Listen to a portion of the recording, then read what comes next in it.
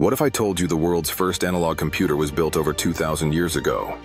In 1901, divers off the coast of Antikythera, Greece, discovered a corroded bronze object among shipwreck treasures.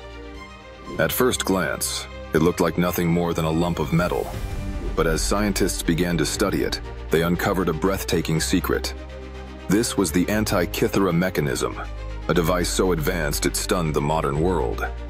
Intricate gears and dials revealed a machine that could predict lunar and solar eclipses, track planetary movements, and even mark the dates of ancient athletic games like the Olympics. Its complexity was unmatched for centuries, with no other known device from antiquity rivaling its mechanical sophistication.